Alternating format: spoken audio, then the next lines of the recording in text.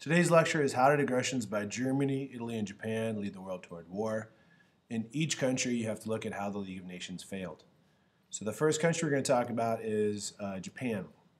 The militarists. The militarists were people who glorify the power of the military. And uh, the military leaders, they gained control of Japan after the collapse of the world economy in 1929. Uh, we need a strong military to protect ourselves. This was kind of the uh, platform they ran on. And this guy right here, Emperor Hirohito, becomes a symbol of state power. And what they said is, okay, if we're going to have a strong military, we're going to use that military to conquer other countries. And we're going to expand into foreign countries, and we'll use that. And the place they looked to, as we talked about in a previous lecture, was China. And um, they knew China was involved in a civil war between Jiang Jieshi and Mao Zedong. So they go into Manchuria in 1933 excuse me, and this was a direct challenge to the power of the League of Nations. But in reality, the League of Nations had no power to stop Japan. Here's a good political cartoon. You've got the bunny being the League of Nations and international strife or international conflict being the boa constrictor. Who's going to win? Not the League of Nations because it's just a weak little bunny. So in 1937, Japan invades China proper. They were up here in Manchuria and then they get into here, into China itself. Jiang Jieshi's army cannot stop Japan. But Mao Zedong, he stays in these areas right here and in Manchuria, and he actually resists using guerrilla warfare against the Japanese, which makes him even more popular with the peasants. So, uh, the League of Nations, all they say is bad Japan. They really can't do anything about it.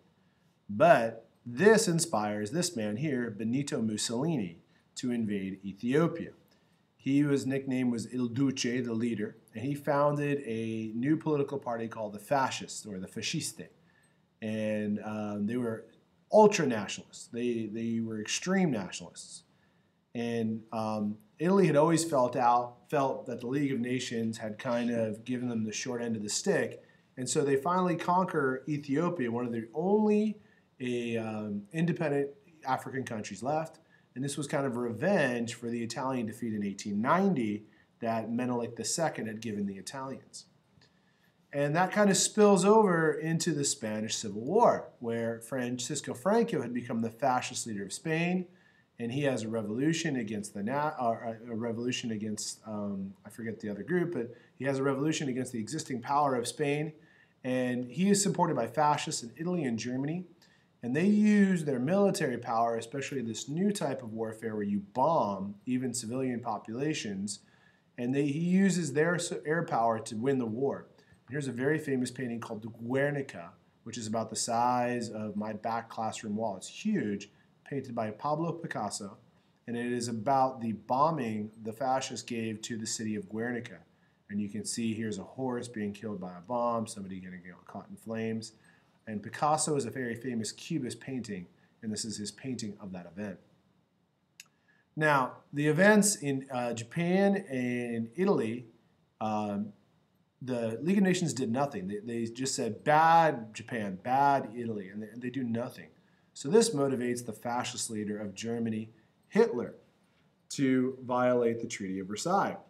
And the first place he violates it is in Czechoslovakia well, before that, he actually builds up a huge army, violating the uh, violating the Treaty of Versailles, and he uses the big army. He says, "I need to get this part of Czechoslovakia, this Sudetenland," and they say, "Okay, we'll have a big meeting about it." And they don't invite the Czechs, and they give them this part, the Sudetenland, this kind of western edge of Czechoslovakia. They give it to us. It's part of the policy of appeasement, where you give in to an aggressor to make peace. And the British Prime Minister at the time, Neville Chamberlain, he actually comes back to England. He says, We will have peace in our time with this paper. Mr. Hitler will agree to sign this power. But in reality, Hitler had uh, outsmarted Chamberlain. This creates the Third Reich, German Empire. You have another German Empire. Um, they, they have taken the Rhineland over here, which was supposed to be demilitarized. They take the Sudetenland here. And then they have Anschluss, combination with Austria. And then they take the rest of Czechoslovakia.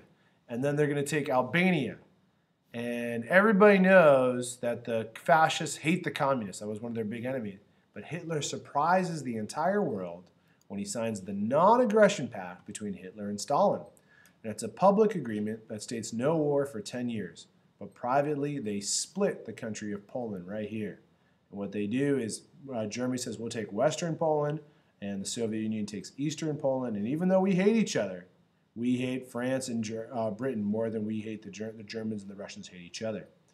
And it is the invasion of Poland in September of 1939 that starts World War II.